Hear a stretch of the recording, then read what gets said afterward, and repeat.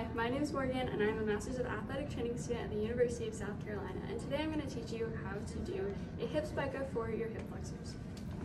Okay, go ahead and elevate your foot on that. Thank you. And then can you just rotate your knee out that way? Awesome.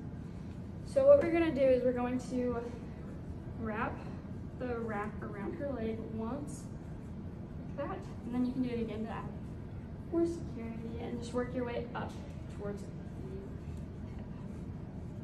once you get to about right here, you're going to cross up and wrap around her iliac crest and create an X right here. And then you can do that again if you have enough wrap lines.